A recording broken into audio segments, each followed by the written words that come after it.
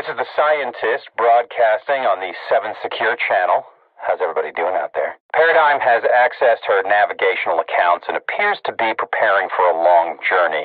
It is impossible to know her intentions, but I strongly suggest we prioritize all paradigm related engineering.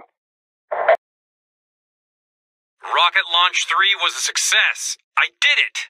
With your help. Tiny Snag, a colleague, embedded a secret message for me in the black box, which would be fine except the black box fell off.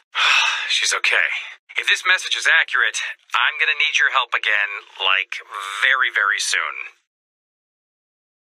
So remember that message from the Rocket's black box? It was from Paradigm. If we're gonna pull this off, we're really gonna need her help. Well, I'm gonna need her help. I've set up dead drops for her around the island. Your mission is to mark them with space rocks so she can find them.